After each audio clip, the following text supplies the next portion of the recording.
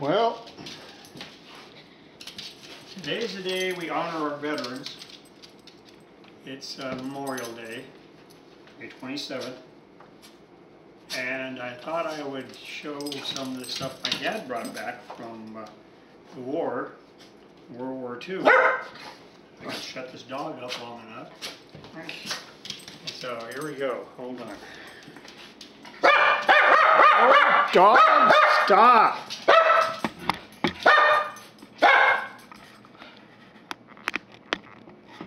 Let's get out of here.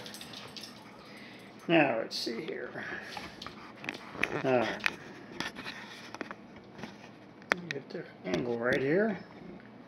Here we go. Well, there's a picture of my dad right there. Uh, that's when he was a sergeant, tech sergeant, I think. And let's see what we got. He was in Europe and uh, there's a Nazi flag. First thing. And what he was, he was, uh, well, he was in the combat engineers and basically in demolitions. Um, they would uh, blow bridges before the Germans got across. And uh, saved a lot of lives that way. And uh, This is from the Combat Engineers. A little story. They had a little book of uh, what they did and all that sort of stuff. Uh,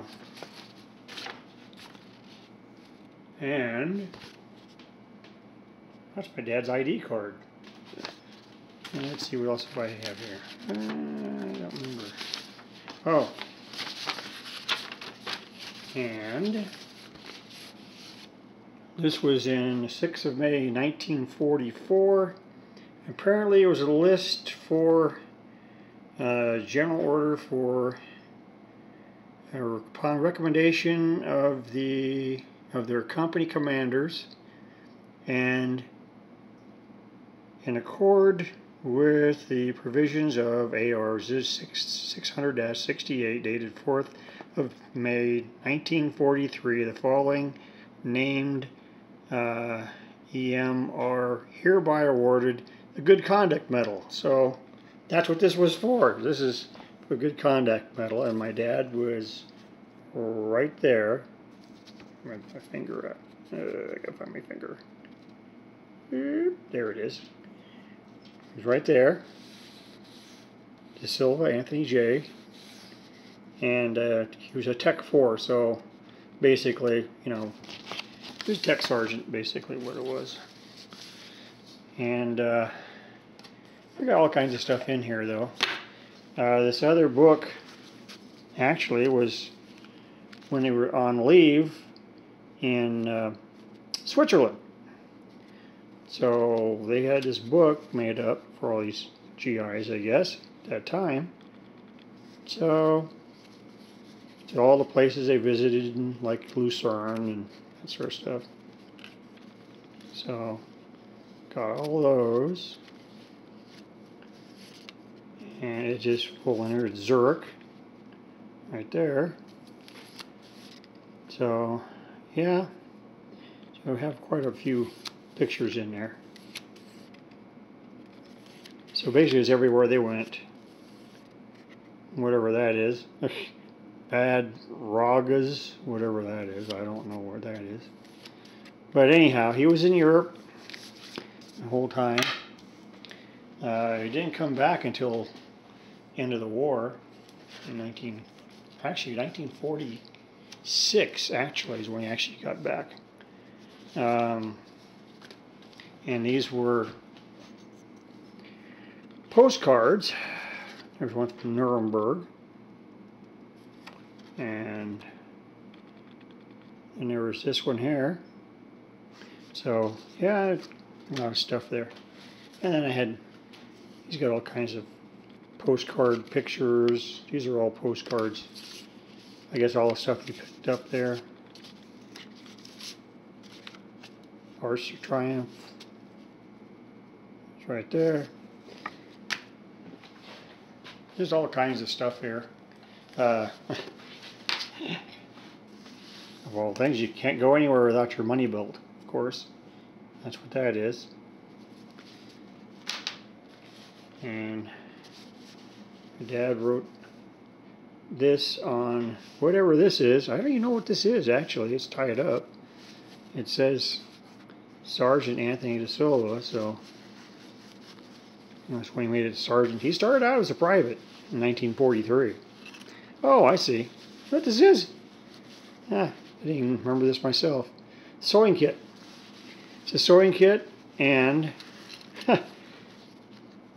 it's got patches and stuff in it. He even got his dog tags in it, actually. And there's actually other stuff, buttons, and there's all kinds of stuff in here.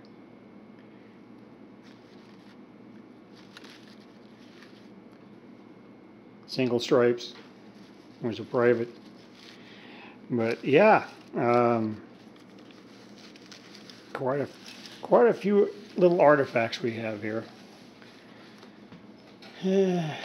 And what was this? Uh, oh yes, a box of more stuff. Look at this. Ribbons. And this is actually, this is the patch for the uh, combat engineers that he was in. Uh, Company B, I think it was. Also. And this is, yeah, this is just a cigarette case. And this is another ribbon. And of course, you got all kinds of more stuff here. I mean, I could go through this stuff forever. I mean, I have so many artifacts here from there. Uh, and this is his cap with his Combat Engineers pin on it right there. And, oh, just paperwork. What is this?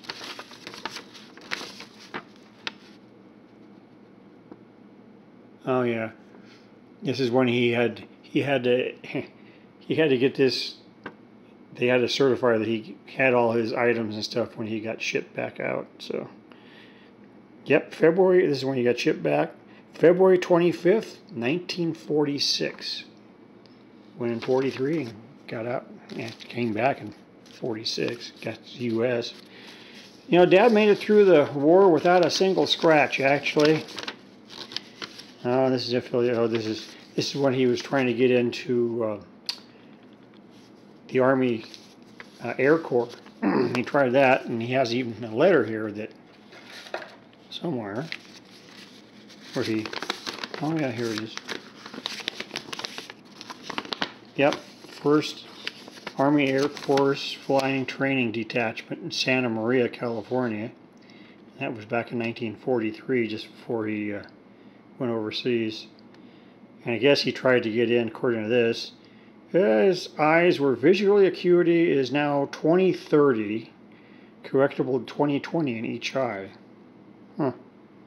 He said, if integrated, or if interested in uh, mechanics ground crew suggested aviation cadet examining board technical training center be contacted at this detachment. This does not process that type of application. so he tried to get into flying and they wanted him to go as a mechanic and he said no. And I said forget it. He said I was going to go fly and try to get in the Air Force and no, it wasn't going to happen. So here's more stuff we got. And what is it? Money! This is from the, the Bank of England. Yeah. See, this is, now, this is a, a French 10 franc note.